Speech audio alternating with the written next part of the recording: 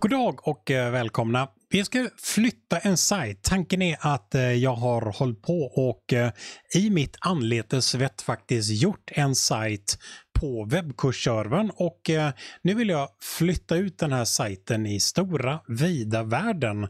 Jag har ett webbhotell som jag har valt och jag har gjort min sajt färdig på webbkursservern. Så nu ska jag flytta det här. Om vi tar och eh, kikar på vad jag har än så länge så har jag på webbkurs i HVSC, där har jag gjort någonting som jag kallar för riktigsajt.se. Den eh, ser ut på det här sättet och eh, den består av några olika saker. Jag har en stilmall uppenbarligen och jag har en HTML-fil jag har en fav-ikon till och med. Den här har jag gjort på webbkursservern. Vi ser tydligt att det är just webbkursservern som jag är på och nu vill jag kunna göra den här sidan på riktigt. Så det jag gör är att jag tar mig till, eh, till webbkursservern. Här har vi riktig sajt. Den, eh, här har jag massa olika filer på webbkursservern. Vi ser att det står webbkurs här uppe. Så det är på webbkursservern som jag har utvecklat riktig sajt och den vill jag nu använda mig av. Så jag tar och laddar ner riktigsajt.se till min dator. Och ser här att eh, jag har de här tre filerna som jag har arbetat med tidigare.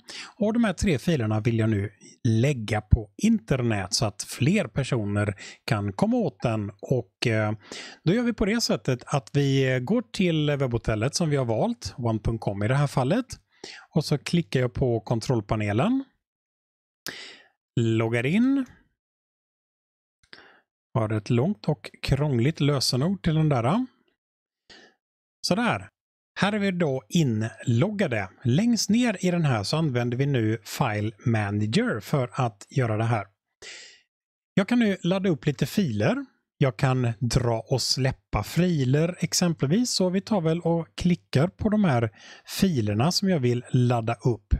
Så jag tar fil efter fil och eh, laddar upp eller så kan jag ta och markera eh, vad det är för fil jag vill ladda upp. Jag vill ladda upp favicon. Jag vill ladda upp min HTML-fil och jag vill ladda upp min stilmall. Så där, nu har jag laddat upp de här tre filerna som jag faktiskt ville ha. Så det jag undrar är naturligtvis, hur ser riktig sajt ut nu? Riktigsajt.se är ju adressen som, eh, som jag använder mig av för att kontakta min riktiga sajt. Och Jag ser här nu att eh, surfar man till riktigsajt.se så ligger mina filer här. Jag ser att jag har HTML-filen, CSS-filen, borde varit en lite annorlunda eh, en liten annorlunda fav-ikon. Vi får köra en reload och se. Eh, där kom min fav-ikon också. Så på det sättet så kan jag då använda den inbyggda filhanteraren för att helt enkelt kunna skicka filer som jag har gjort på webbkursservern och skicka upp dem till min, mitt riktiga webbhotell. Så på det sättet så gör jag helt enkelt för att flytta en webbsajt från min lokala dator och upp på webbhotellet med hjälp av dess inbyggda filhanterare.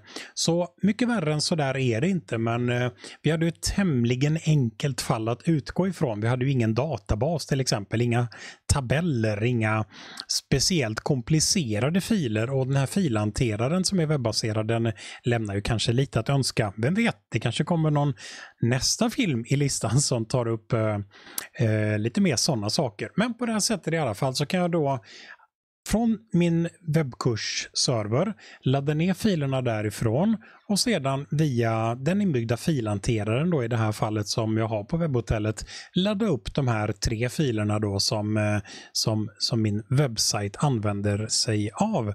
Så på det här sättet så tar jag helt sonika och laddar upp en, eh, ja, en dröse filer på min, eh, mitt riktiga webbhotell, min riktiga adress. Tack för detta.